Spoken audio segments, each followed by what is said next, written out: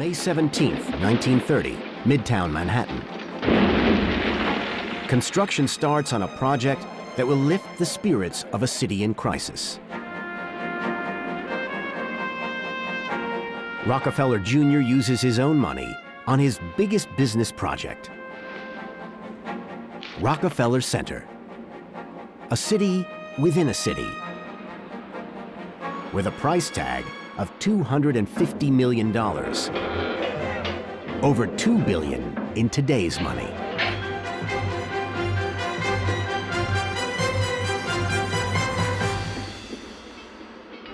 An investment that provides 40,000 jobs for New Yorkers at a time when one in four people are out of work.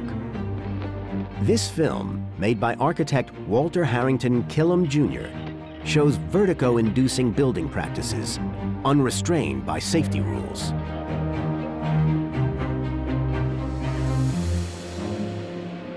The centerpiece of the development is the 70-story Art Deco skyscraper, 30 Rockefeller Plaza, popularly known as 30 Rock.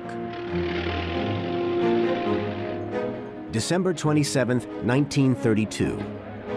The complex's first building, Radio City Music Hall, a New York icon to this day, opens with a lavish performance by the Roxyettes, later known as the Rockettes.